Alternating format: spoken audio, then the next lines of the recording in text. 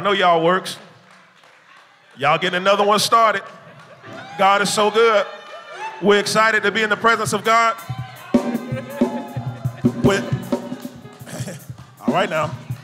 With that being said, I want us to prepare to receive the man of God while we're standing, just to show honor, because the Lord has been equipping us in such a way that He doesn't have to.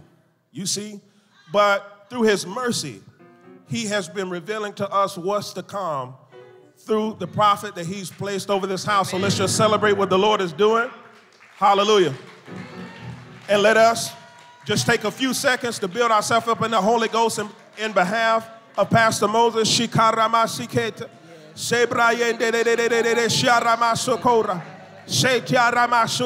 Masikekiaramashe.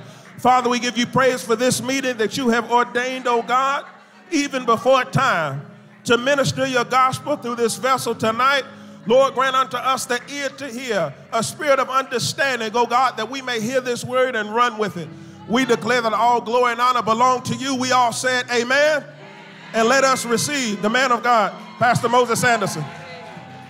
Praise God. Hallelujah. Praise God. Praise God. Let's be seated. Thank you, Jesus. Praise God. Praise God. Praise God. Let us all be seated. God is good. Uh, You can be seated too. And you can be reseated because you were already seating. God is good. Oh, what an awesome time of fellowship and celebration at the baby shower. Ah, that was good. That was some good, good spirit. And um, and I'm I'm just so excited that we're able to genuinely translate sweet fellowship into doing life with one another. You know, so we're not just coming to say we're brothers and sisters in Christ and bash each other with a couple of scriptures, but then after that, we're strangers. You know, it's good to be able to celebrate one another. And if you're wondering who was baby showered, there she is. That's Diamond. She was, yeah. Come on, praise the Lord. God is good. God is good. It's good to have our brother Eric and Cedric, our brothers Eric and Cedric with us again today. I appreciate you guys greatly. God bless you. God is good. So we're just going to get right into it. Um, however, uh, well, let's get right into it. Ah, hallelujah. You see, the thing is, um, whenever there is confusion about anything in the world, is because God is setting up the stage to announce you. You understand what I mean? So, um, you see, Alan read a scripture saying that the the he was talking specifically about Peter being filled with the Holy Spirit. He then spoke to the elders. You know, because when you're filled with the Spirit, it allows for you uh, to tap into the unction for addressing um, long-standing habits and cultures and cultural norms. You know, when you're addressing the elders, you're talking to the people that have been upholding, you know, religious notions and concepts and strongholds. And so it takes being filled with the Holy Spirit. And I believe it was Paul who also elaborated on that subject when he said the, oh, the holy man of old spoke as the Holy Spirit gave them utterance. You see, when you think about the Holy Spirit inspiring in you and I the words to speak, then we begin to appreciate the situations that we get to face or the situations that we are faced with simply because God sets the stage first before introducing His Spirit.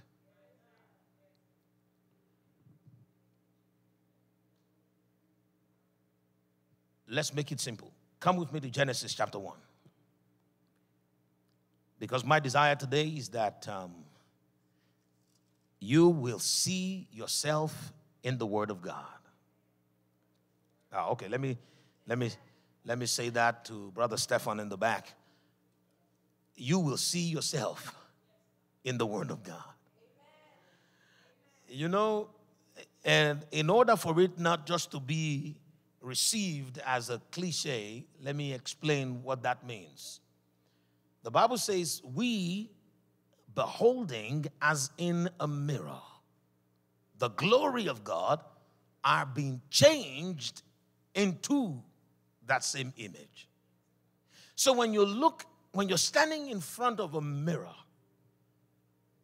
you want to see yourself where? In that mirror. I mean, it's going to be weird if you stood in front of a mirror, but your image that you're seeing is on the wall or on the floor. That would not be a very clear image. You could have a reflection on the wall with light bouncing off. You could have a shadow of yourself on the ground with light being obstructed. But the true image that you want to behold needs to form inside of the mirror. And that is the reason why the Bible says when it comes to being transformed to become like Christ, who was the Word of God that became flesh, you have to be able to see yourself in that mirror. We beholding as what? As in a mirror, the glory of God, we are being changed into that same image.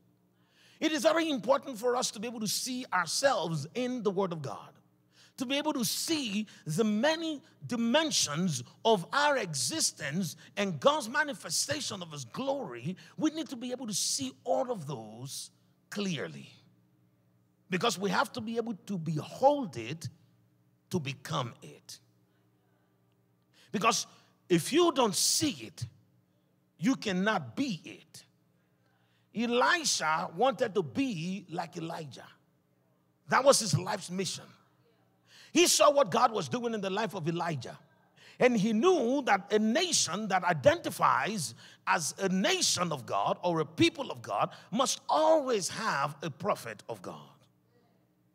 Because there must always be an oracle to deliver the mind of God. And that's why the apostles reminded us, even in the New Testament, that let everyone who speak speak as an oracle of God.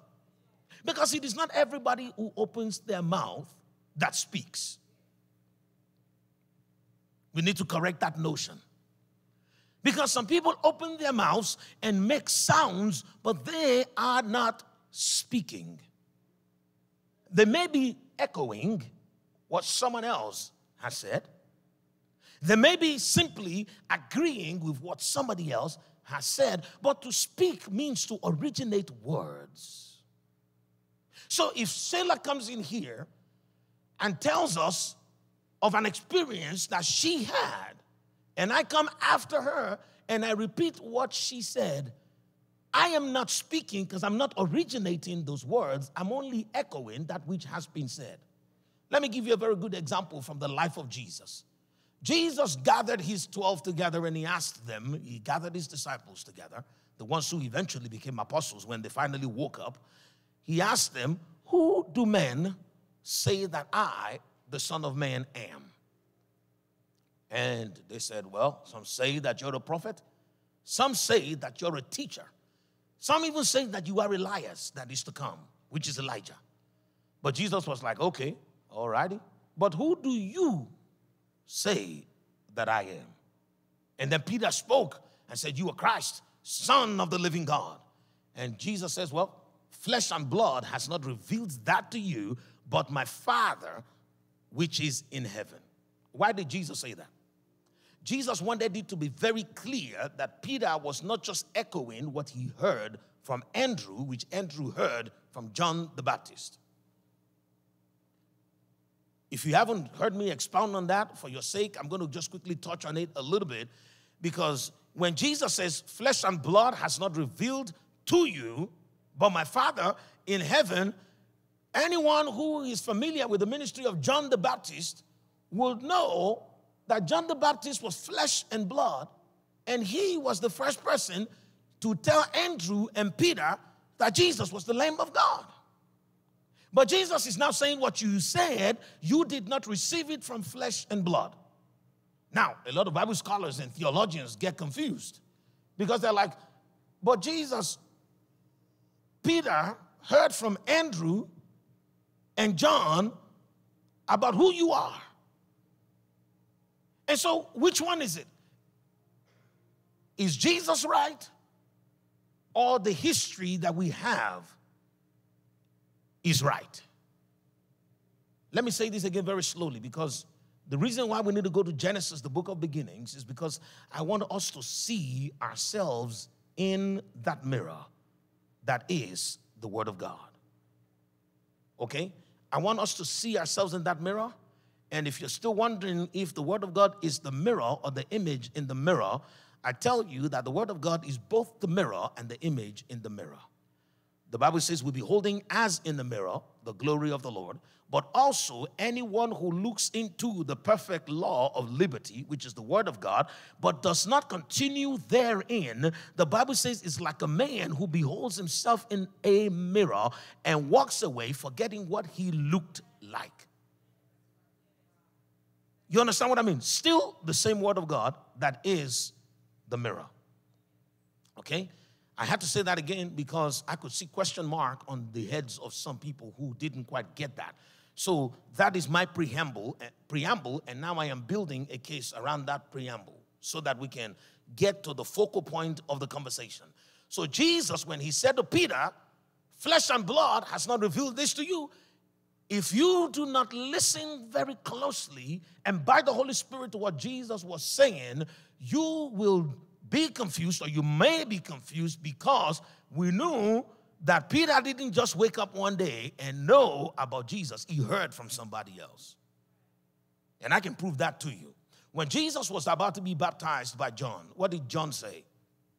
John said, and the Bible records that Andrew and Peter were there. He said, Behold the Lamb of God that takes away the sins of the world.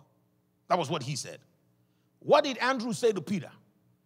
Peter, I mean, John the Baptist says, Behold the Lamb of God that takes away the sins of the world. Andrew received that revelation and he turned to Peter and he says, You need to come because we have found the Christ. One talked about his sacrifice, the other one talked about his anointing because the word Christ means the anointed one or the Messiah. So John said, Behold the Lamb of God that takes away the sins of the world.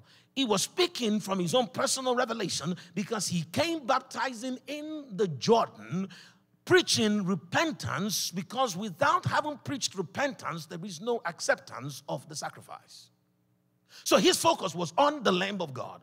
When Andrew received it, Andrew received it, and he says, If this is the Lamb of God that takes away the sins of the world, what does that mean to me? That means this is my Messiah, the one who has come to save me. So one of them talks about what he does, another talks about how he does it. Those were the two things that Peter heard from flesh and blood. So when Jesus said, But who do you say that I am? Peter knew that at that particular point in time, Jesus was not asking for what John said.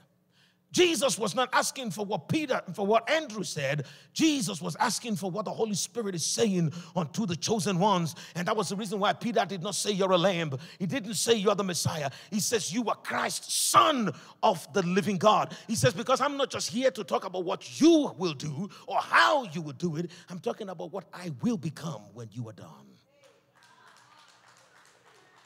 Because everything that the Lord does and says culminates in who you become by it. Because the whole premise of this particular installation that is called the earth and this experience that is called the human life, it, it is all about you becoming like the glory that you are beholding. And so we need to learn how to begin to see ourselves in the Word of God because what you see in that Word of God is what activates who you truly are from the inside so that you can become fruit bearing, evidence showing on the outside. And that is the reason why it is important for you to know exactly what you're looking at. When you're looking at crisis, when you're looking at darkness, when you're looking at chaos, what exactly are you to see and where are you in that picture? Because the world that we live in right now is in abject darkness. The Bible says, in the last days, darkness will cover the earth, and gross darkness indeed the people. And that is the reason why people no longer know who they are or who they should be because of the darkness. Have you tried to look at your own image in a mirror at night where there is no light? You could become a gremlin and you wouldn't know. You could stop being who you are. You could turn into an ogre and not even know. Simply because you need light to be able to behold what is in front of you. And so, if people stop knowing who they are, or who a woman is, or who a man is, or who they are, where, where their allegiance belongs, in fact, do you know that even nations now have lost their identity? Because a nation that is convinced to easily give up its sovereignty is the nation that has lost its identity. Sovereignty is essentially what? How do you define the sovereignty of a nation? The sovereignty of a nation is defined by the collective will of a people to defend who they are, their identity. The moment we no longer have an identity, what we are defending becomes zero, and effort multiplied by zero is always zero. And so that is what is going on in the world, and it is masterminded by the serpent. That was the outcome of the power that was given to the serpent with which to deceive the nations. Power was given to the serpent, and finally, he was able to complete his plan. And that plan was to take people's identity away by taking their light away. Because the moment you are not able to see what you're looking at, it is easy for me to turn you into something else and you will agree with me. So it is more important now in fact, I would borrow a word that a friend of mine likes to use. It has become of utmost significance and it has become imperative for us to know who we are. But we cannot know who we are unless God reveals to us. you see, because He being the engineer and the architect, knows exactly what he made. You understand what I mean? So you can't make up what you think you are. You know, we've been through church and through all kinds of movements wherein we try to teach people how to understand their purpose without teaching them how to hear the voice of the Maker. So, how can I understand my purpose when, in fact, whatever my purpose is would have to be what he had in mind when he made me, unless I agree with Darwin that I just accidentally emerged? I am too fearfully and too wonderfully made to have been the product of an accident. I am too scientific also to believe that this being that you're looking at could have resulted out of chaos. Sometimes I emerge out of chaos, but I am not the result of the chaos. You see, because in science we know that there is a law that is called the law of entropy. And what it means is that every particle that exists structurally in relation to another particle can only go from a state of orderliness to increased disorderliness.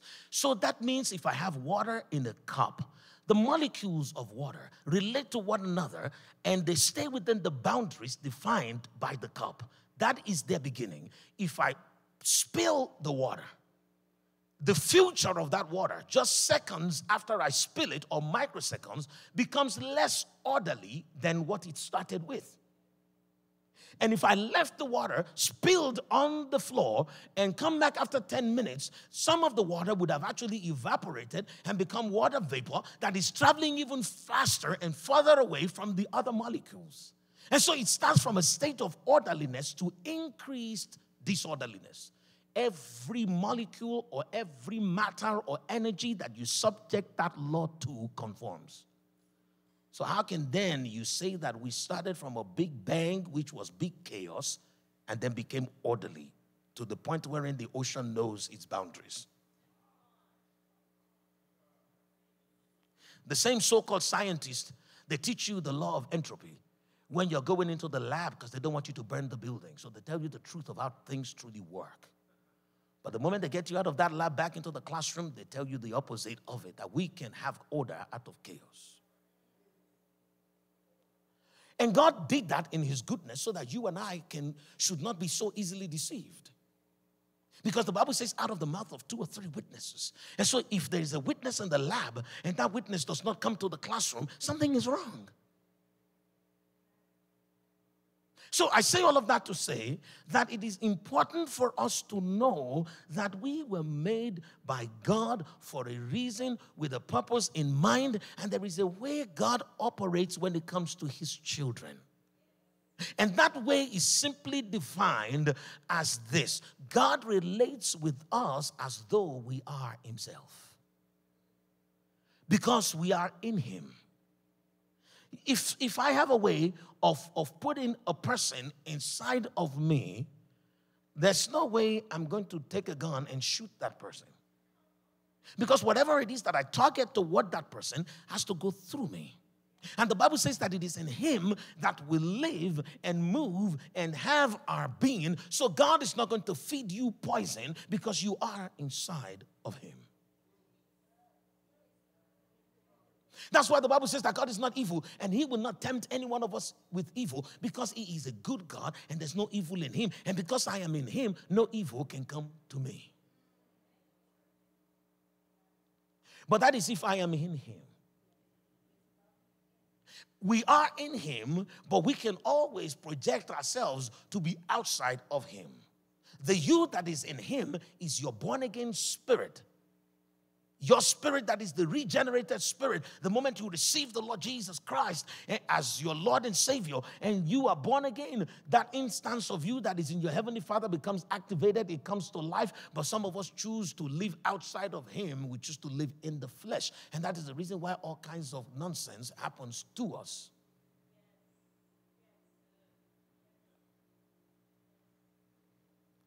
I believe Okay, one more scripture and then we're going to be ready. You see, I just saw that scripture around there, which is an interesting scripture. Isaiah chapter 60, verse 3. It says that Gentiles shall come to your light and kings to the brightness of your shining. And I'm just going to borrow that because I was thinking of how to f- complete the foundation so we can finally read this Genesis chapter 1, verse 1. When the Bible says Gentiles will come to your light and kings to the brightness of your shining, why would they do that? They will only do that if they identify a need for light. You see, when people are still enjoying the blackness of the darkness, they will not seek light. But the moment they begin to stumble and everything starts to crumble, then they would look for the light. So now let us read Genesis chapter 1. Genesis chapter 1, verse 1, the Bible says, In the beginning, God created the heavens and the earth. The earth was without form and void, and darkness was on the face of the deep, and the Spirit of God was hovering over the face of the waters. In the beginning, God introduced His Spirit after revealing the darkness, the emptiness, and the formlessness. you see, why did God make us? And why did He make us and put us here? The answer is because there was a problem that He was trying to solve. He created the heavens and the earth, but he couldn't rest because the work was not done. The Bible says that the earth was without form and void, and darkness was on the face of the deep. Let me first of all talk about the fact that the Holy Spirit was then introduced after that. The reason why there is so much darkness in our world today, the reason why we have the moral corruption and decadence is because God is setting up the stage to introduce his children. Hmm. If I brought a candlestick and I hold it against this halogen lamp, you would say to me, Can you put out your candle? Your lame candle? Because ain't nobody need that candle in here. But then someone can go to the back and cut out the electricity. And all the floodlights go off, and suddenly everybody is looking for the man with the candle. As long as there is a form of light, the world will not come seeking you. And we know there is a form of light in the world, which is not the true light. The Bible says Satan will come as an angel of light, and so will his messengers. And so there is some kind of light that exists in the world. It is mostly called information. And so, because we are loaded with so much information today, many people feel like they do not need to seek another light because when they have a headache, they go online. When they need to find out exactly how to treat their spouse at home, they find a blog. When people want to know exactly how to raise children, they order a book from Amazon because there are other kinds of lights out there. But those other lights are made up of six colors and not seven. Because there is only one light that is the true light, and that is the light of God that is made of those seven component spirits. And that is the true spectrum of benevolence. And it is not what the world is looking for yet because they have the six colored light that makes them proud.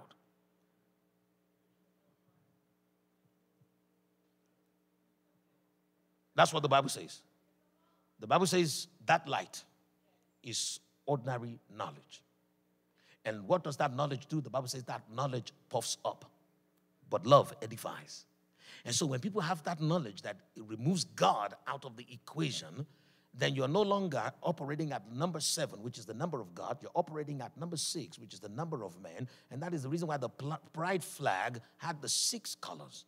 So correct all of those people online every chance you get if you're so led whenever they say, oh yeah, because I've seen people, in fact, I've seen people at conferences, big shows, telling people, oh, these people are using the rainbow, which is God's sign of, of promise. I'm like, that rainbow is not a rainbow. Whatever that thing is, is not. Rainbow is seven colors. We don't even need to be reminded. We just need to look up every time it rains and you will see it. And if you can't wait for the rain, look for a shiny car under the sun and start spraying water on it. You will see the spectrum of light. Because rainbow is essentially a reflection of light through water. So every time you can reflect, reflect light through water, it's really refraction, but we call it reflection, but it's okay. It will give you the seven colors, right? And God warned us not to follow what someone puts in front of you on paper. The Bible says in Romans chapter 1, verse 20, that it is from the visible elements of creation that we understand the invisible attributes of God and of the eternal powers. So when I look at creation, I see seven colors, and that's what makes the rainbow of God. How did anybody, or why did we even ever let anyone sell us on the idea of six colors and call it the rainbow? It's not a rainbow. It has one more color before it can become the rainbow. And the moment you introduce that one color, you come under the authority of God. And that is the reason why rebellion is the number six. And if you're still in doubt, look at the number of the beast. The Bible says the number of the beast will be 666 because six is the number of man. It's there in Revelations, it's the number of the man. And who is the man? They're talking about the man who chooses to replace God with himself. And so we know from what we see that light is appreciable when there is darkness, absolute darkness. But until that darkness is made complete, which heaven's yardstick for measuring when darkness becomes complete is very simple. Is that you can no longer tell the form of things. You can no longer tell where the boundaries are. Oh, your land following me just yet. The Bible says, do not remove the ancient boundaries, but you need light to see boundaries. In abject darkness, you cannot see boundaries. And what is going on in the world today is that we are slowly seeing, not even slowly, very quickly, sporadically, seeing boundaries get eroded. You remember a while ago or sometime long, long ago, wherein children have to obtain permission from their parents to do things that could change them forever. We used to ask for permission from our parents to actually have candy because it can change your teeth forever. But now that boundary has now been eroded or is being eroded in some places, wherein a child could choose to cut off his arm just because he believes he's become a tripod. So it doesn't need two, hand, two, two hands and two legs anymore. He just wants only three. You understand what I mean? And they say that it is okay. Why? Because the boundaries have been eroded. Now, the more eroded the boundaries are, the closer we are to the completion of darkness. Now, let me say this darkness has to be made complete before Jesus comes. Because as it was in the beginning, so shall it be in the end. This was where we started from. We started from total darkness where there was no form and it was void. To be void means to contain nothing. So, the Holy Spirit was introduced after the darkness, the emptiness, and the formlessness or the chaos was seen. Because without those things preceding the introduction of the glory of God, people may choose to settle for everything else but that glory. Remember my little candle that people despised? Now became what Gentiles are running to and kings are coming to. And you know why? Simply because now people have developed an appreciation for it because they have seen darkness firsthand. So let's keep that at the back of our minds because we need to understand that and then weaponize it so that we can become as dangerous as we need to be to the kingdom of darkness. Remember, we're taking the battle to the gates of our enemy. And the strategy that we want to implement is such that they would flee before we get to the gate. Uh, let me let me explain that very quickly because every one of us here were faced with opposition after opposition because Jesus made us a promise. He says, In the world, you will have tribulations, but in me, you have peace. So basically, every time you go out in the world, tribulations and trials are awaiting, but it's for a purpose. But in me, you have peace so you can handle the situations, whatever they are, right? Jesus made us that promise. So, what we need to do is we need to learn how to apply that peace for victory and how to apply ourselves for that peace. So, I'm going to explain that in two ways very quickly. Way number one is this knowing that we're at war allows for us to begin to examine weapons. Because it's like if you're not at war, then who cares? You just need a pencil to write love letters, but and a fork to eat. But when you're at war, you need something that can deal a blow on the enemy. So, what have I just said? I have just said that the significance of understanding the strategy for war begins with the awareness that there is actually a war. But then the kind of war that you're fighting will determine the kind of weapons that you select and the strategy that you apply. When David was to fight Goliath, Saul brought his armor and offered it to, to, to David. And David looked at it, and David was like, um, I can't fight Beelzebub with Beelzebub. The man out there is decked in armor. And his armor is several times the size of yours. So, what is the difference, uh, or what's the assurance that this can even dent his shield? So, we need to go higher. We need something that can go higher. And of course, you know that a stone in a sling goes higher than a shield that is made of steel. It's a no brainer. You know that now because you read it. But back in the day, they didn't know that because they were living the reality of it so that we can learn from them. They should have just already known that there was no way the armor of Saul stands against Goliath. But because David knew that that battle was not a battle of spears and swords, because God had been brought into the battle and God does not use such weapons. Don't worry, it's all going to come together. Just let your, your spirit filled mind follow along. David heard when Goliath was saying that he was going to deal a blow on the people of God. And that's all David needed to hear because David knew that his God's people are the apple of his eyes. And so there's no way someone would say to me they want to poke my eye and I would not respond to defend myself because that eye is a part of me. And so because we're a part of God, he rises to our defense. And so David was like, Goliath is not coming after man. He has gone after God, and God does not use these things. So we need to go and apply what God uses. Apply that principle to your situation and my situation. Who are we? The believers. What are we? We are Cyrus. Cyrus means the possessors of the furnace. The furnace means hell. We are the ones that will possess the gates of our enemies. And what did Jesus describe the gates of our enemies as? He says, the gates of hell, and they will not prevail against you. Why will they not prevail against you?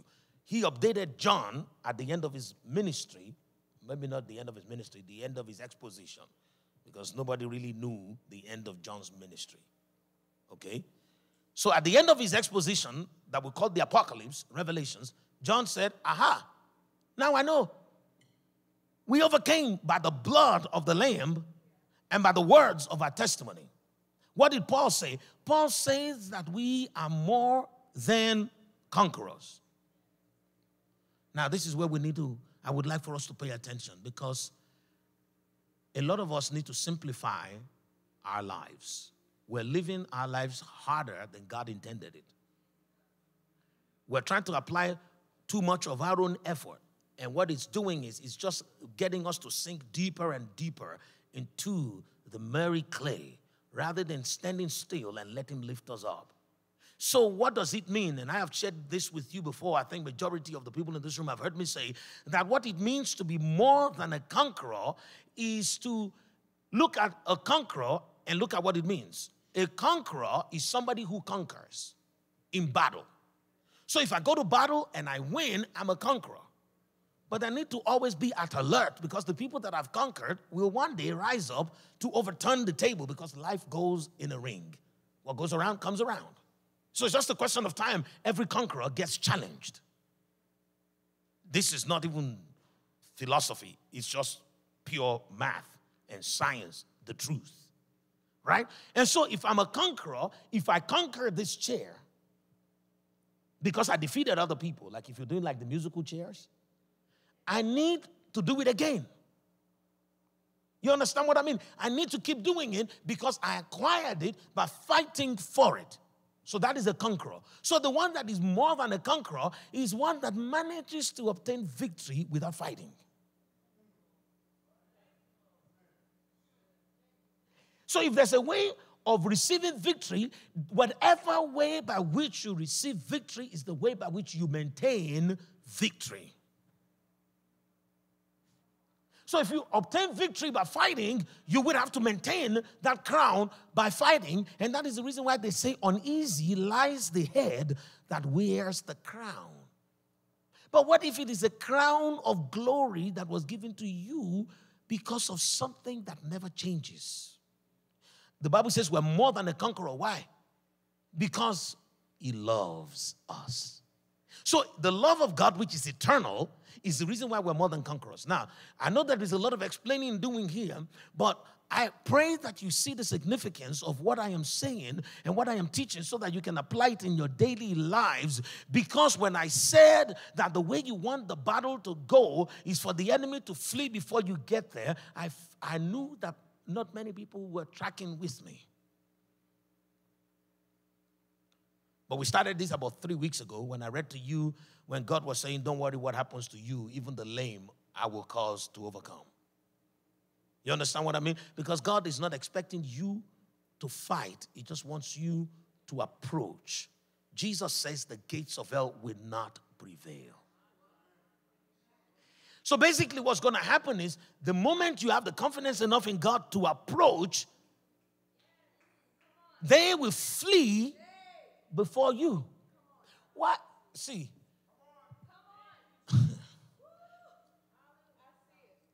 it's an identity problem.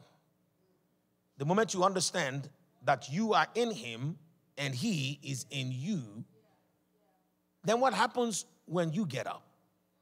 That means He gets up. And the Bible says, Let God arise and let His enemies be scattered. Let those who hate Him flee before Him.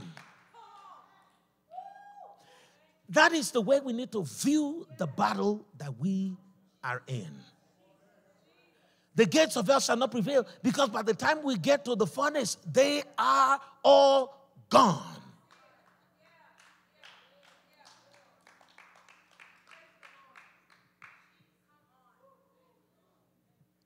That is the way you live your life on the daily. Stop trying to headbutt the enemy. Because if you play by their rules, you are bound to lose because they are not fair gamers. They are deceivers.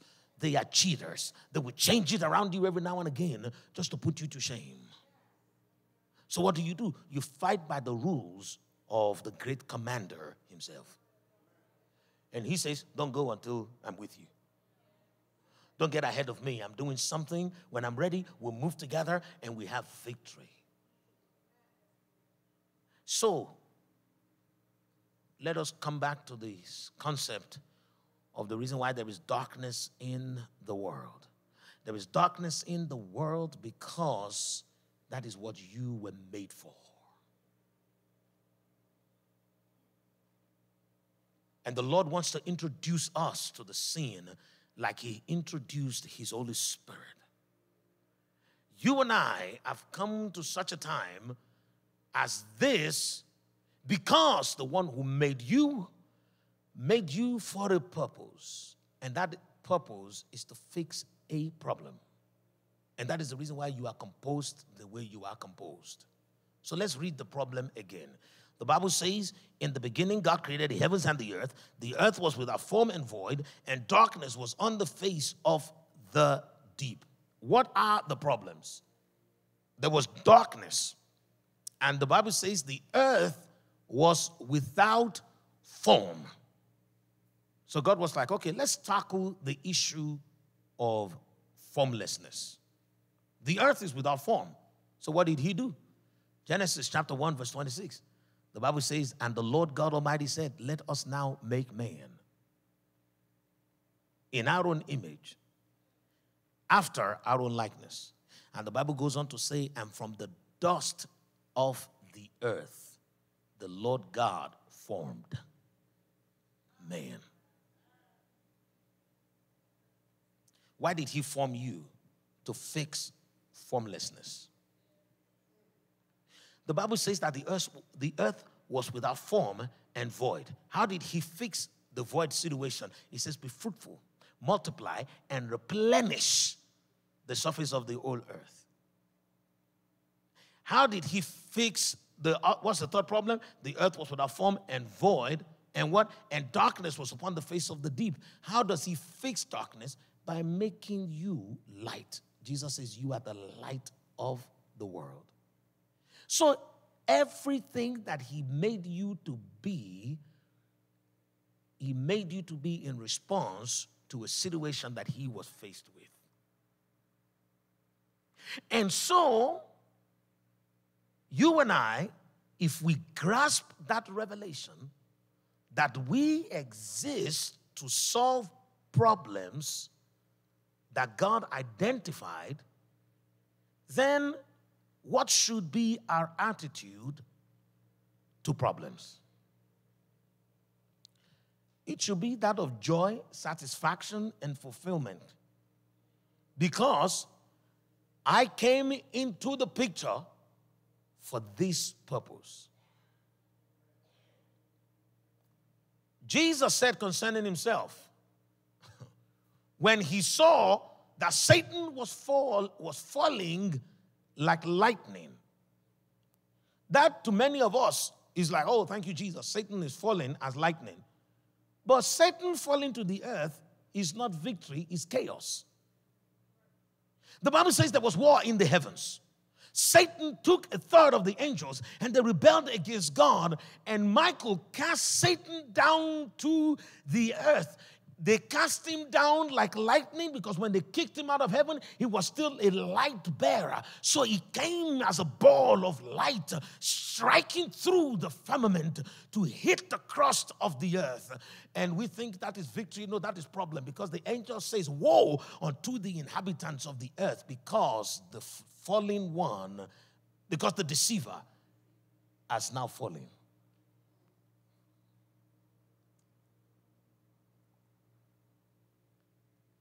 I'm gonna give you. Okay, let me let me show you a little picture of what's coming, because I know it's gonna help you appreciate what I am breaking down to you. Come with me to Nehemiah chapter one verse seven or twenty-seven, the book of Nehemiah. The book of Nehemiah is before the book of Job. Actually, before the book of Esther, Nehemiah, Esther and then Job. So it's somewhere there if you're looking for it. Now, look at what it says in verse 7. It says, We have acted very corruptly against you and have not kept the commandments, the statutes, nor the ordinances which you commanded your servant David. He says, We haven't done it. So what are ordinances? What are statutes? And what are commandments? Remember, God is light. Okay? And he exists in heaven. The Bible says heaven is his throne and the earth his footstool. And so, for that light that God is to illuminate our lives, channels have to be created to pierce through the veil that is called time. Time is a veil that keeps us separate from eternity. And so God introduces commandments and statutes as light rods that operate by the principles of capillarity or capillarity, however you want to say it, to bring us light. So light channels come through to the earth. When you obey God and you are in compliance with His word, guess what happens? Your heart is illuminated. The Bible says that the, earth, the Word of God is living and powerful and is able to penetrate the dividing membrane to discern. The word discern there essentially means to illuminate the thoughts and the intents of your heart. So without God's Word and His commandments and His statutes, there is no light. So when God commands us to do a thing, it's not because He wants to make your life difficult, it's because He wants to help you make it easy by bringing in light into a dark world. You understand what I mean? By bringing light into a dark world. Do you know how dark it is when you are at loggerheads with someone? You and somebody are not friends, you're keeping malice, you're angry with one another. Do you know that suddenly a person who claims to be the lover of your soul, they want to love you forever, when y'all have a misunderstanding, then you appear to one another as though you are each other's enemies. Let's, let's bring it home a little further. Let's take a spouse. Let's take a couple, for example. A man and his wife. They love each other to bits. And then they get into an argument. And they start to call each other names.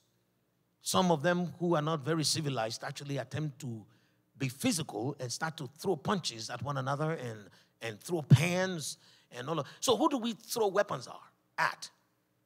Not our friends, our enemies. Who do we yell to? People who are far from us. So, someone who is in love with you, who's supposed to be sharing your heart space with you, you're not get into a situation wherein you are yelling at them as though they are two streets away. And that's because when there is a misunderstanding, you become far from each other. Right? When there's misunderstanding, you no longer see each other as who you truly are, you don't, you don't see each other as lovers and as friends anymore because there's now a chasm between both of you. And when there is darkness, what did the Bible say happens? The Bible says when there is darkness, there is formlessness. So the beautiful wife that you were just telling all the sweet nothings two hours ago now becomes a person you're calling a beast and all kinds of names simply because her form has been taken away. Let me, let me explain that again. You see, if the husband and the wife can see each other for who they truly are, lovers of each other's soul, beautiful in each other's eyes, then they will not call each other names that are untrue. I'm teaching you spiritual warfare, and it's going to make more sense as we go along. You are the solution to darkness. Because everywhere there is darkness, there is chaos, there is lack of form or deformity, and there is also emptiness. Can I prove that to you? Michelle, if you get into an argument with somebody that you're friends with, let's even say a child of yours that you love so dearly, and then you get into an argument, guess what happens?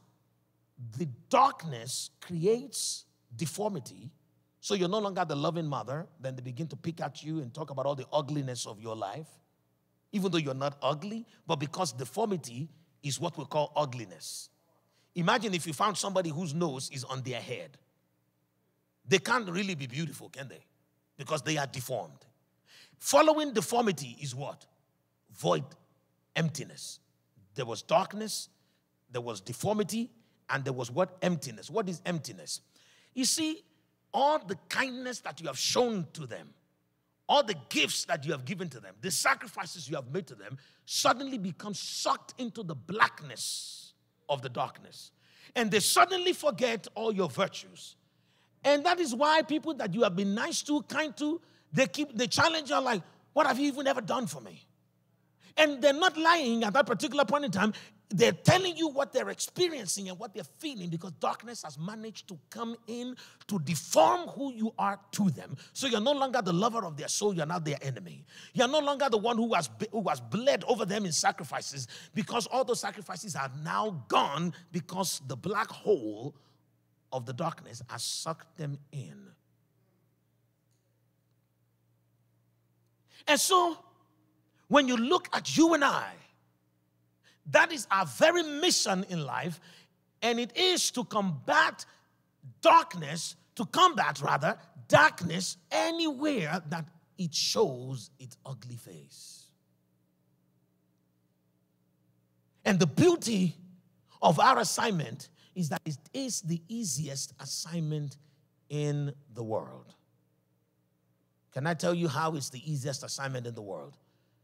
Because you just have to show up. Huh. When God made man, man was not involved. And yet, it was the solution to the problem. God was the one that formed man from the earth because the earth had been without form. So he formed man to correct the deformity. He was the one who breathed his life into man so that that which was empty can now be full of eternal life. He was the one who gave men the power to be fruitful and to multiply so that he can replenish the surface of the old earth. Please excuse me, ladies and gentlemen, what exactly can man take credit for in all of what God did to solve the problem of darkness? In John chapter 1, verse 4, the Bible says that in Jesus, the word that became flesh, in him was life, and that, in fact, the Holy Spirit said to me to read everything to you. John chapter 1, verse 1.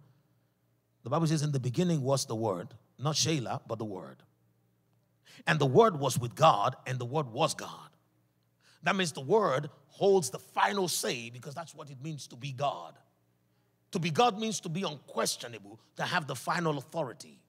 And the Bible says, by him all things were made, and there was nothing made that was made without the word. So you and I cannot really make anything except that which the word has made.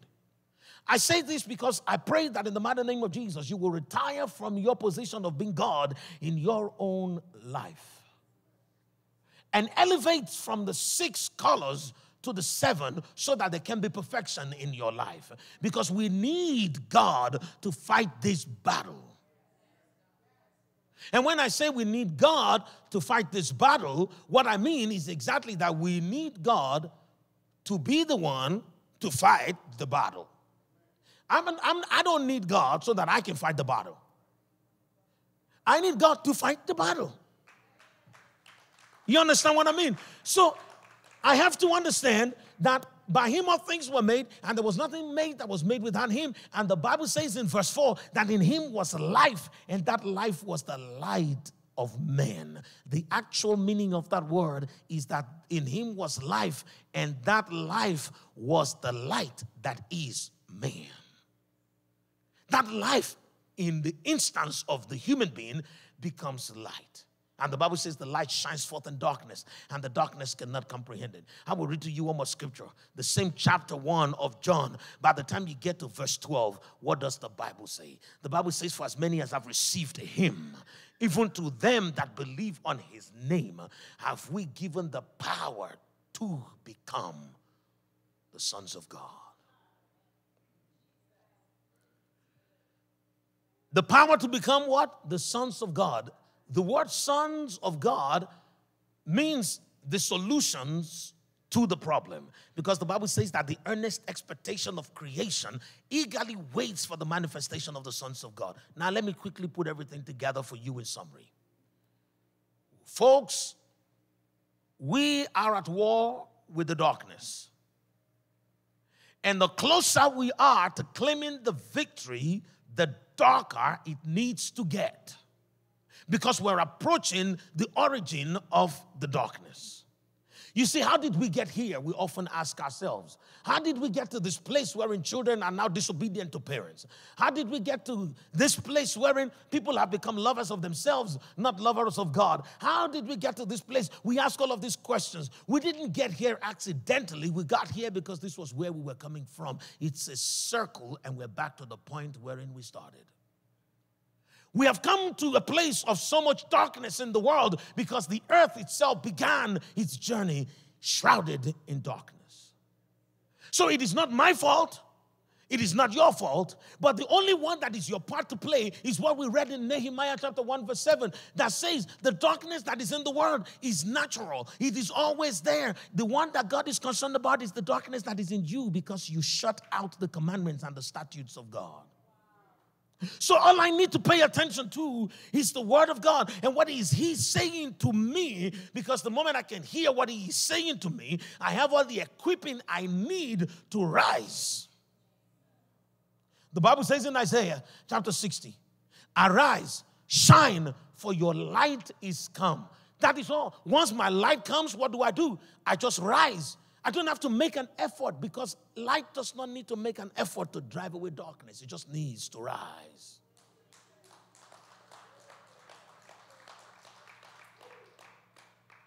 I need to rise to the darkness in my marriage. I need to rise to the darkness in my business. I need to rise to every darkness that shows up anywhere near me on this earth that God has given to me to be in dominion over. And how do I do that? I make sure that I shine the light on what God has already put inside of the other person that the glory of Christ may be revealed. It is not my business to call out the darkness, the darkness can do its own job. It is not my place to keep calling out what is wrong with the world and what is wrong with people. It is my place to see what is wrong with the world, to get a good sense of my direction and purpose, and then rise to the occasion and let rise, rise to the occasion and let the one who does battle take care of the rest. Why am I saying this to you? Three reasons, predominantly. Many believers are tired already and if you show a tired man anything that looks like more work, they just give up. I have come here today to warn the body against the great apostasy. Because the Bible says, before the great day of the coming of the Lord, there will be a great falling away. And the falling away will be by the man and women who can no longer carry on because we are tired already. And then if you show us any more work that we need to do, like a battle that we need to that we need to fight, we will just completely throw in the towel. And so I am here today to let you know that when you see that battle, don't be afraid it is not yours to fight. Because if you don't know this thing in your Noah, if you do not know it in your heart, you know when they say you know it in your Noah? Noah means rest. You need to know it in from a place of rest. Because if you don't know it and be rest assured that the Lord will fight the battle, that the enemies will flee before you get there, you will be discouraged, you will be disappointed, and you will, at the end of the day, give up rather than stand up. I took my time today, by the grace of God, to explain these things to us because we need to recognize that the battle, the battle is the Lord's. And He just wants you to rise because all He made you for was to be a carrier of that light. And He says, I just want you to keep paying attention to my word. Because when you look into that mirror, when you look into that word, you then stand a chance of becoming that word. And the moment you become that word, that word is light, then you become radiant. And when you become radiant, what does the Bible say about a radiant object? The Bible says that the light shines forth in darkness, and the darkness cannot comprehend it. The darkness cannot prevail against it. The light does not have to exchange blows with the darkness, it just needs to show up, and the darkness on its own will take up and We are not going to the gates of hell to throw punches because we are already more than conquerors. We are the guys who have victory not because we fought, we are the ones who have victory because we are loved. And because I am loved, I am light. And because I am light, I stand and darkness flees. Because the devil wants to engage you in a fist fight because we are babes. The devil is of the order of the ancient ones, himself and his goons. They've been around for a long time. So when God made man, they showed up in heaven and they were bothered by it. God gave David an insight into that revelation. I believe it's in Psalms chapter 8, wherein David saw the ancient ones. They came before the Lord of all spirits and they said to him, What is man that you are mindful of him? You don't even visit us, but you will visit him. They said, Oh, what is man that you are mindful of him? The Son of Man that you will visit him. And I have come here to tell you today what man is. Because that is a question that even the ancient cannot answer. But the Bible says, I have an unction from the Holy One and I know all things. God has given you the unction by His Holy Spirit to know what you are because you are a mystery to the kingdom of darkness. They wonder what you truly are. Here is what I am I am light, I am life, I am truth. Because Jesus says, As I am, so are you. Because I am everything in Christ and Christ is everything through me. But the devil does not want you to, and I to have that understanding because if we don't have that true understanding, then we will show up before Goliath holding a spear and a sword. And Goliath has a mightier sword than you because when he made us, he made us in his image and in his likeness. He didn't make us giants because we don't have to be. I don't have to be 20 feet tall. I wield the power of infinity. So, what is size when I have power? but, but there are certain beings that were made big because of their function. There are angels that are 80 feet tall. There are some of them that are one mile high because of their various functions. But I don't need that stature. The stature of my Heavenly Father is enough for me because it has all the potency in the world. And so when you are fighting the devil, you are fighting those who are mightier than you in the natural. And that's why you don't come against them in the natural. Look at Jacob, I mean, Joshua and Caleb. When they went to Jericho, the other spies, they had their eyes open and they were like, These guys are giants. We are like grasshoppers in their sight. But Joshua was like, it doesn't even mean anything because we are able. It is not by my stature, I am able. I don't have to have a giant credit score to possess what my Heavenly Father has already freely given to me. I don't have to have all the money in the world to be able to possess the land because my Heavenly Father commanded me to come. He said in Isaiah, Come and buy you who have no money. And so we have been conditioned by Satan to think that we have to be like the giants to take the land, but it doesn't matter because we are able. In order for you to fight like God wants you to fight, which is not to throw punches but to rise, you need to see yourself in that light. When the walls of Jericho came down, did they throw punches? Did they fight? They just did all of what they could to get God to stand up. They were playing music and they were making noises. And every time my kids make noise, I want to go and find out what it is. And so when they were making noises, God was like, Oh, I need to go find out what, Jake, what Joshua is about today. And the moment he got up, all of the enemies scattered. Even the wall bowed before the Lord of all. You see, the thing is, God wants you to enjoy life. And Jesus said, My burden is light, my yoke is easy. So if it's difficult, it's because you have not accepted the ease that He brings. Kayla, just think for a moment how difficult it is to prepare to fight a giant that is about five times your height. Where do you even begin to train? What, how do you even stand to look at that giant in the, in the eye? The giant gave an assessment of the situation in the natural. The giant was like, Are you guys kidding me? That was what Goliath said. Goliath said, Are you kidding me? You bring a dog to a man's fight? He said, Who is this little scrungy dog that you have brought? And David was like, That is part of the strategy. You don't see me coming because the one that would put you in your place is an invisible God. And I'm his avatar. And so, what I am telling us today, folks, is we need to understand what we are. We are the answer. Because when God saw the darkness, he made you light. When he saw deformity, he formed you according to the image of Christ. When he saw emptiness, he empowered you to be fruitful and to multiply. And all you have to do to attain all of those things is to rise up from the dust and look around and say, I am here. You see, let me tell you something.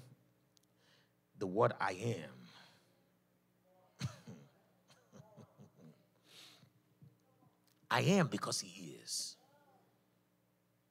You see, the very first thing in the New Testament that we were told that the new creation in Christ Jesus is about is the power to become, not the power to perform.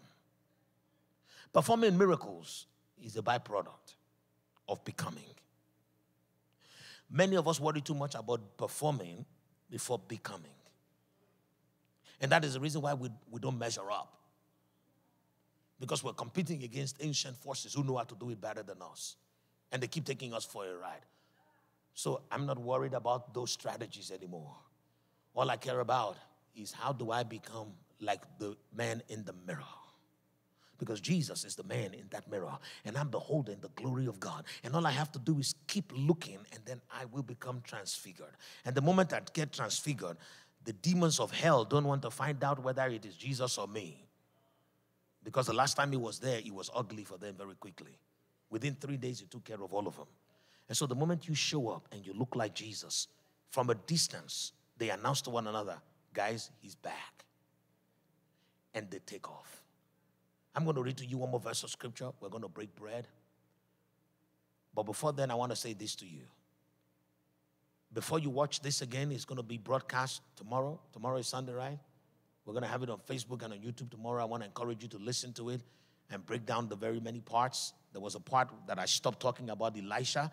You need to go complete that on your own on, with the help of the Holy Spirit because it's very important for us to know the power of seeing who we are to become, you know, from the Word of God. And there was also a time that I was talking about strategy for warfare, and I cut it short so that I can get back to the concept of what you are because that is my number one assignment today by the Holy Spirit to get to the concept of what you are. When it comes out tomorrow, I want you to watch it, listen to it, get scriptures, get understanding. But before then, there is one thing that I believe we must all do. Before then, I want you to start to think of yourself from the standpoint of who you are and not what you do.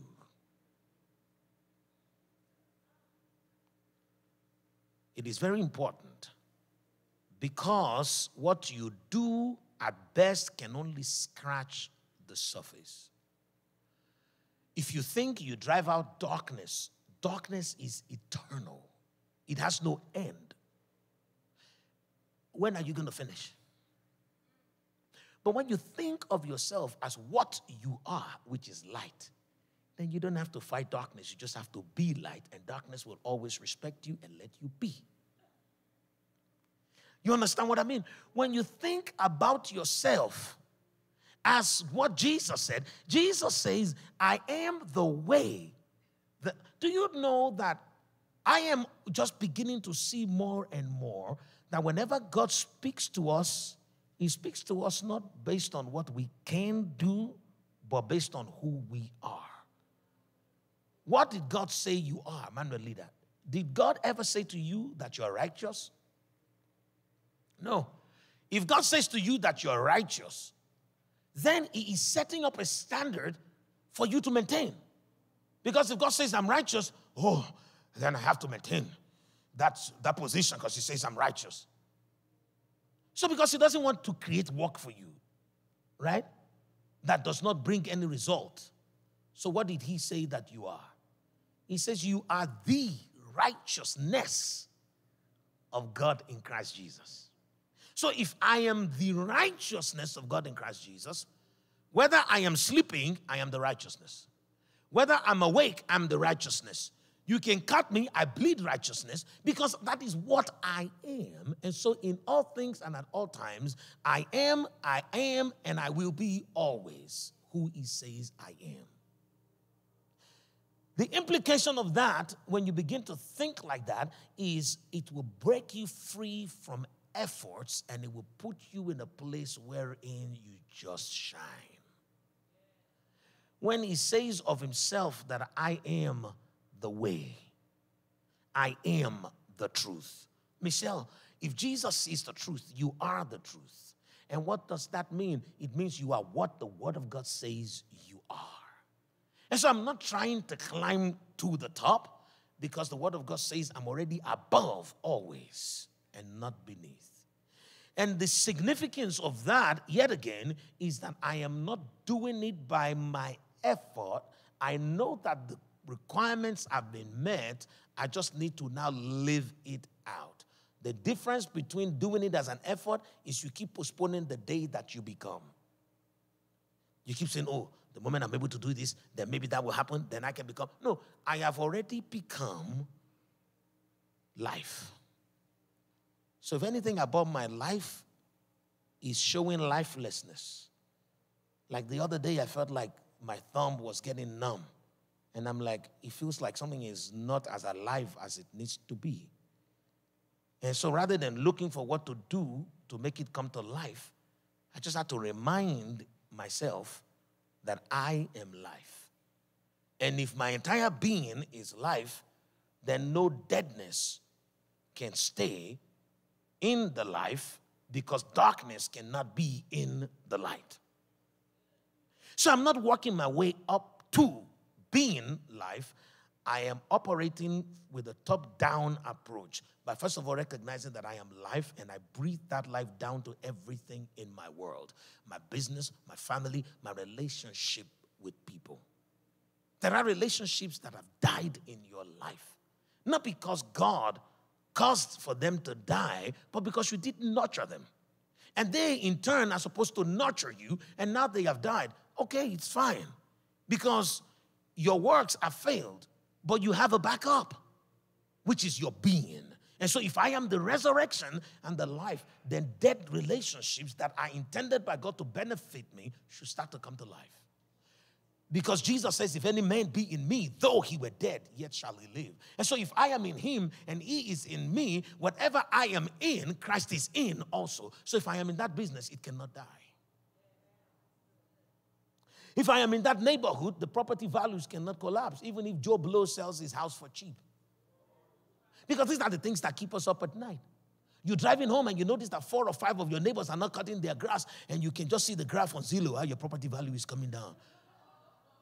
And then the other day, some drunken man ran into the gate of your subdivision. And when they fixed it, they hired the, the, the chairman of the HOA, they hired his son to come and fix it. And rather than using stones, he used some kind of facade that is made out of chicken nest. You know that mesh for keeping chickens out? It happened somewhere in Suwanee. And they just put a little bit of plaster on it. And every time you see things like that, you're like, oh my, that's my property value going down. You see, the value of what is yours is not determined by those things. Because God did not say that you will carry yourself with candor. He says, no, you are what royalty means. That's what he says. He says, you are a royal priesthood. You are royalty itself. What it means to be royal, that is who you are. And so, if I am royalty itself, then that means I have the authority to set value on things. Do you not know that kings are the ones who determine how much tax you pay?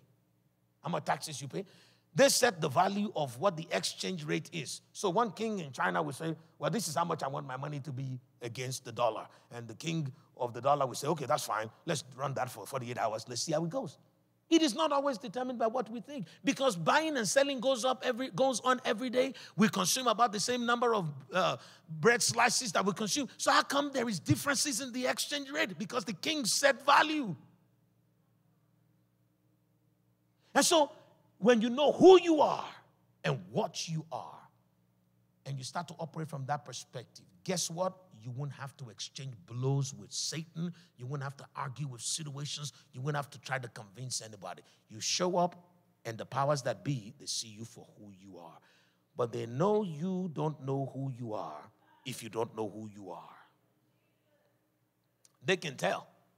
Remember the apostles or the, the, the missionaries who wanted to copy the apostles. They saw the apostles were casting out demons. And they too, the seven sons of Sceva, and so they also were like, this is what they say. They say, in the name of Jesus, come out of him. So they practiced that in their closet a couple of times.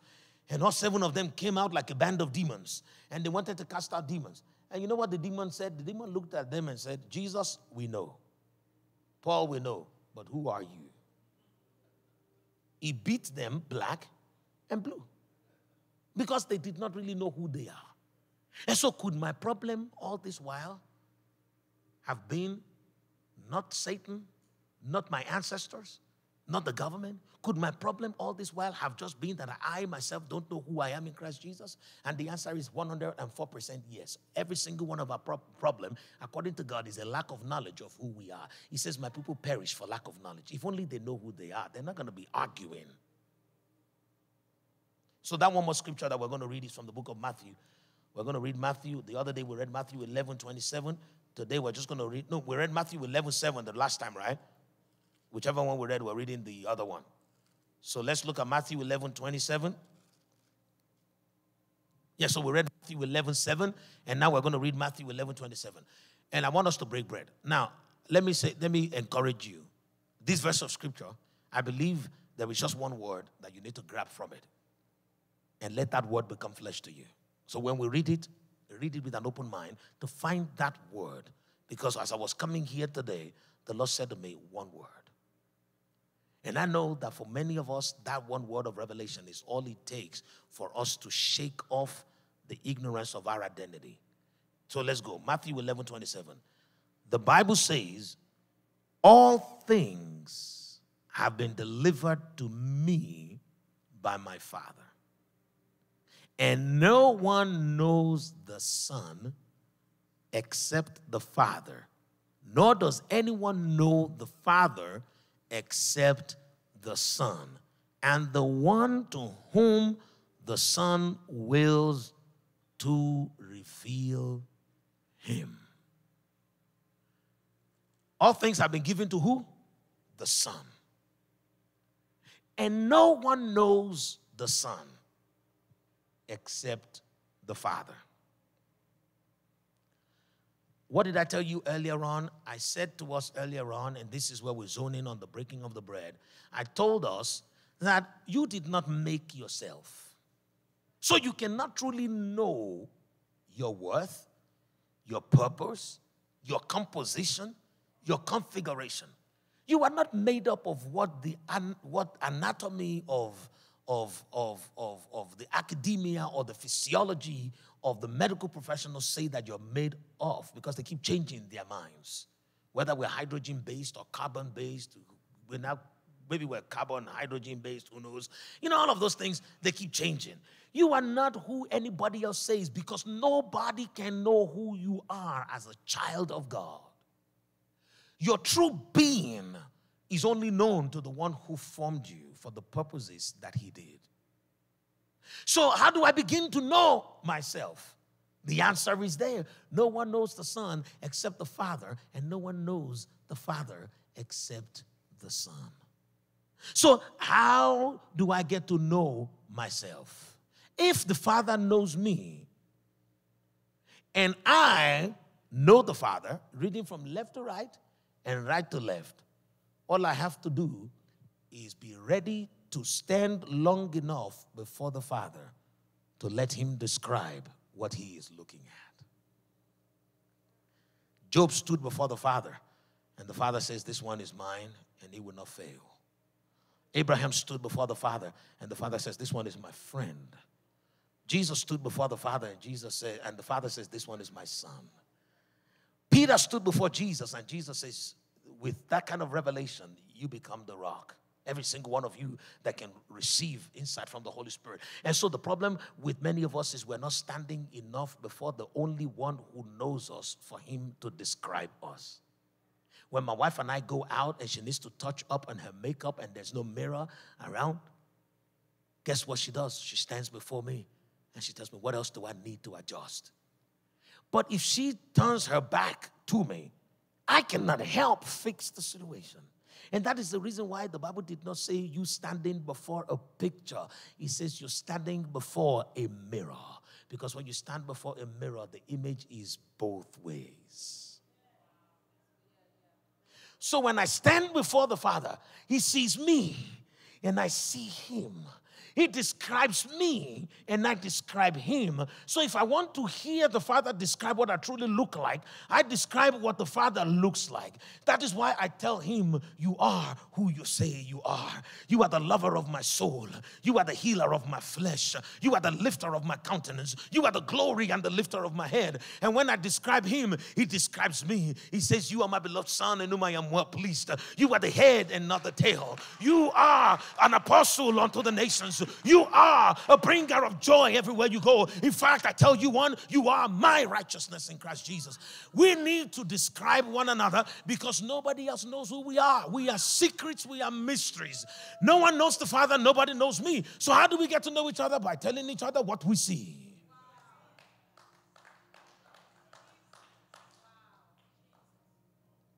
If that is not incentive enough for you to stand before the Father, I don't know what else can inspire you and motivate you. Spend time with your Heavenly Father. Talk to Him. Tell Him what you know of Him, and He will tell you what He knows of you. And then, you know where it gets better is the fact that after the Father has revealed to you who you are, He gives you the authority to go and tell other people. That's what Jesus says. He says, and then the Son can reveal to whomever He wills. So I have the right to show off who I am in Christ Jesus. But I need to, first of all, show up and know who I am before I can show off. Otherwise, I'll be lying to the world of who I am that I am not. Let us break bread. In fact, I believe we're ready for one more verse of scripture and we're going to break bread. If not that we've been here since 2 o'clock for the baby shower, I want to read four more scriptures, but I will be reasonable or maybe compassionate.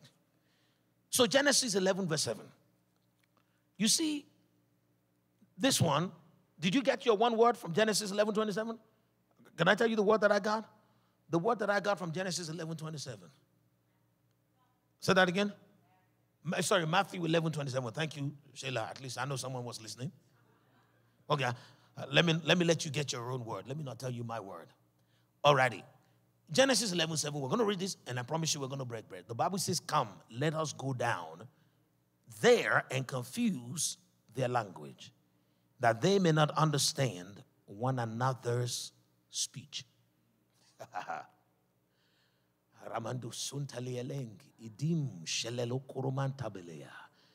You know, one of the slogans for this season at Communion House is what? You need to learn to read from left to right and then right to left. Because the one who is at the right hand of the Father is coming for the ones who are left. I hope you got it. Left to right and then right to left. Those of us who are left, we're left to right everything that is wrong with the world. Okay? We are left, we're the remnants, so that we can write. And that is the reason why the president of the United States at the moment is called Joseph Biden, because he's yet one of those signs that the Lord put up. Remember Donald Trump and Jared Kushner? How they are assigned to the church, announcing the arrival of the beast, because that's what their name means when you combine it together.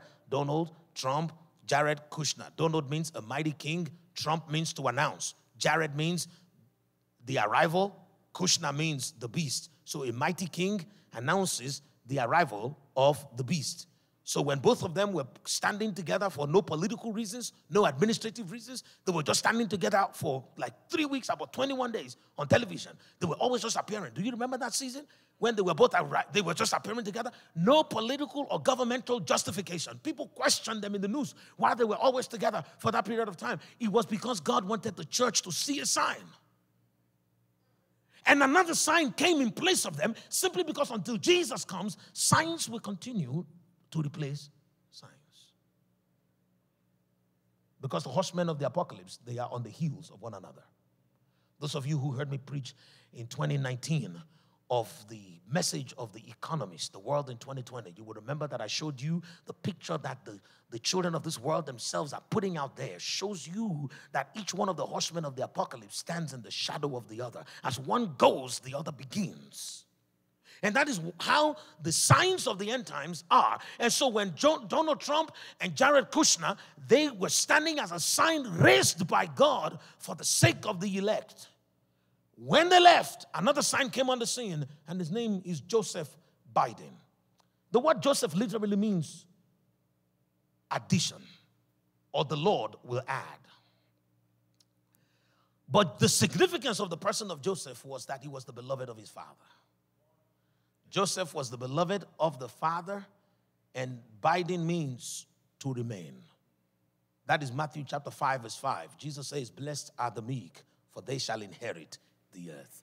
The Lord is letting us know that we will remain, those of us who are left, to right all of what is wrong with the world. We are not escaping anywhere. We will be caught up to meet with him in the blue skies, to be changed in an instant, and then to return to inherit the earth and to fulfill the agenda of our Heavenly Father. So, rapture is not an escape, it's an equipping.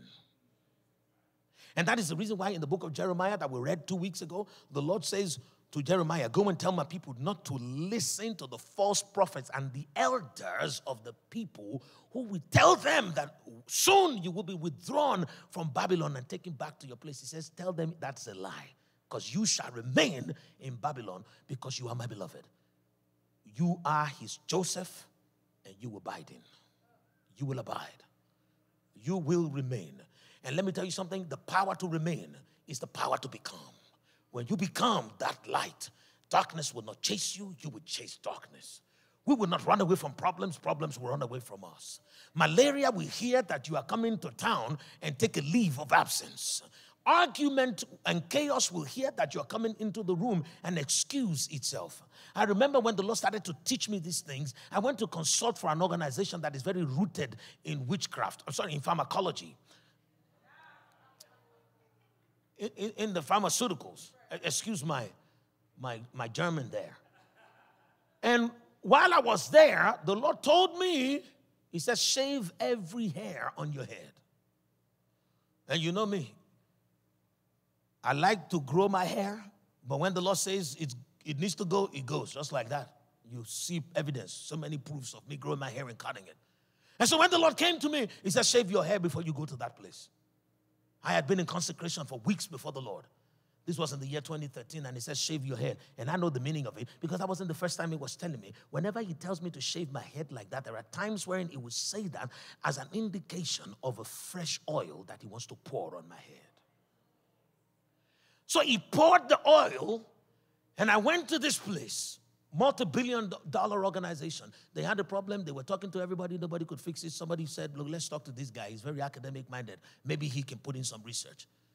When they spoke to me on the phone, within 45 minutes, I described to them what the solution was. The word got out. They said, you're the man. And I needed that kind of opportunity because we were as broke as chalk. So I needed to work for one hour and get paid for seven. So I needed that kind of opportunity to be able to move from a rented house, an apartment, to move to a house. So no matter how backward you think you are and how left behind you think you are, as long as you are standing before the one who knows you and the one that you know, when your day comes, you will overtake the ones that have gone ahead of you. One project is what it takes, one opportunity and one door is all it takes. So I'm encouraging you, Brad. You know what I'm talking about, Brother Brad. You know, he's been telling you to wait on him. You will overtake the chariot of horses. Keep waiting on him. Let me tell you something. Some people are willing to offer you unsolicited advice, unsolicited counsel. You don't have to go with what they say because you just need to stay and let the Lord move first and then you can follow him. You know exactly what I mean. So they can say whatever they want. Even the enemy might come and say to you, Oh, daughter of Zion, do you not know that there is safety in the multitude of counsel? You should say to that voice when it comes that the Lord has laid in Zion for the foundation a stone, and it is a precious cornerstone. And you stand upon that stone, and every other ground can be a sinking ground. Stand upon the counsel of the Lord and shame the wisdom of Satan. You see, when the Lord took me to that place and I walked in, I felt the thickness of the opposition. I knew that I had come to a place that is an altar. I knew there were altars to Satan in that place. For a whole month, I couldn't produce one report. Every time that I'm in there interviewing people, talking to people, the opposition was so much, I felt like I was going to lose my mind. And the final day that I was supposed to give my presentation, and I won't hold you much longer after this one, the very final day, I got up and I said to the Lord, It's very obvious that I am not going to deliver on this project. And he says to me, I'm glad that you have come to that realization. He says, Because you will not, but I will. And when he said that to me, the moment the Lord says that he will, we, we better just hands off everything. I closed my computer with all the empty pages. You know, when you don't have anything to write, you start designing your background. I was changing the color of the slides. I had like a dozen slides with different colors, background images, images of a giraffe, all kinds of things were there. And as soon as he said that, I shut down the computer and I went to get some breakfast. I was walking around like an aimless Joe, but the reality of it was that I am just an arrow. I don't aim myself, He aims me. And when the Lord aims you at the target, you can never miss. When I showed up at the meeting, the global legal counsel for the organization said he could not come into the room. when I heard that he wasn't coming into the room, I was like, Blessed be the name of the Lord. And so there was a holy pandemonium. Nobody wanted to come into the room. I went in there with a blank computer, no presentation, while they were trying to figure out the confusion, the chaos, and the darkness. The Lord was forming his light in the conference room. You see that 40 minutes or so of confusion outside.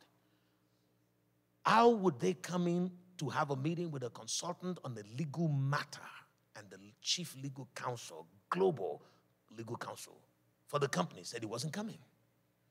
That was the time that it took for me to create what the Lord had created. I was simply downloading from heaven. As soon as I was done, there was even no time to review. Because am I going to now review what the Lord has done? The Bible says, Who is he that instructs the Lord? Is there any amongst you who questions him? What did I tell you? To be God means to be unquestionable. There was even no time to review. They walked in and they said, We're finally ready. And that was the victory. The enemy left the gate before I got. So I didn't have to throw punches at anybody. Everything I was presenting was a legal matter. If the legal counsel was there, there would have been an argument. It would have been like a law court. But the man said not a word. By the time I received my final check from the payment, I heard that they fired him after the meeting based on my recommendation. And I'm like, I made recommendations. I thought I was just there. You see what I'm saying? When you are light, you don't have to fight darkness, it will flee. Trust in the Lord with all your heart and do not lean on your own understanding. And He will give to you the very desires of His heart because that will become the desires of your heart. Open the bread and the wine and let us glorify God. Father, we thank you because of your fullness have we all received grace for grace. And the sufficiency of our lives does not consist in the abundance of the things that we own, but in your kind benevolence by your mercy that is renewed every morning. May we stand forever grateful and faithful. May we stand forever ready and equipped because we are only made ready by your love and the radiance of your face. Let us know our place and let us know who we are in you that we may soar upon our high places. Hear me, O gates of hell, that you may know the Lord has arisen in Zion, and his favor is moving me toward the possession of my possession. I am coming because Jesus is coming. You may eat of the Lord's body and drink of his blood in Jesus' name. Amen.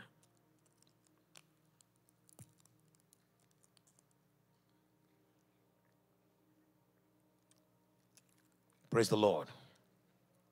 Praise the Lord. Our time is fast spent. I want to apologize to Chris and Kayla because they have an amazing testimony that is ready to go. So, which means both of you have to be here on Tuesday in Jesus' name. Amen. And then they will share the testimony with us. I'm going to get step down from here. Alan, are you ready to come and close out the service and say a blessing over the offering? But one thing that I want to leave you all with is this. Can I read one more scripture? Come with me to Revelation chapter 22, verse 9. Hmm. Revelation chapter 22, verse 9. You see, um, I know that the Lord has already spoken to you today. I know you came in here and you're saying, God, I'm going to church today. I need a word. I need a word.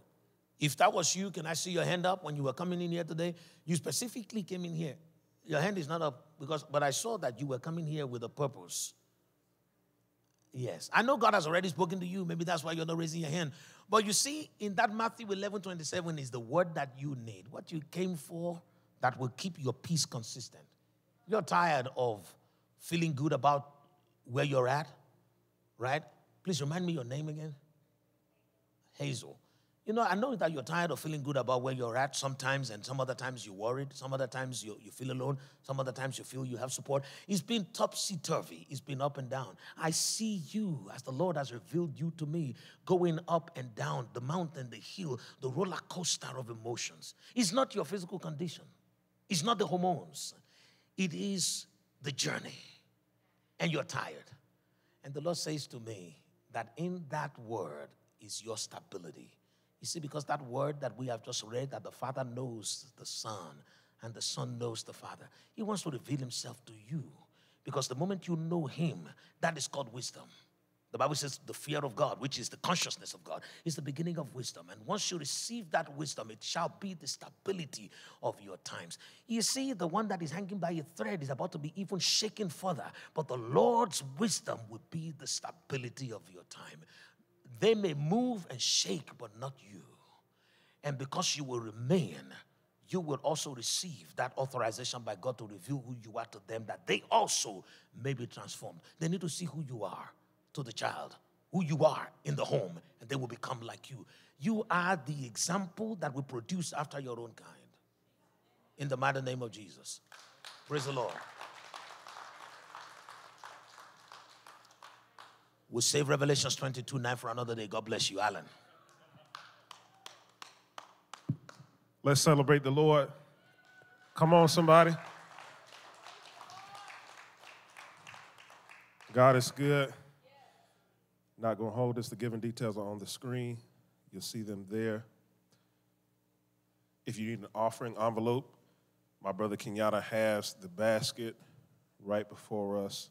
Let's give in faith with a cheerful heart and what the Lord has done.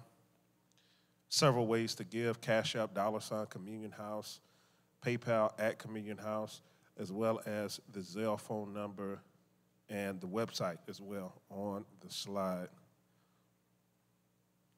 We'll wait a few more seconds. as we get that in order, and we will close out. Hallelujah.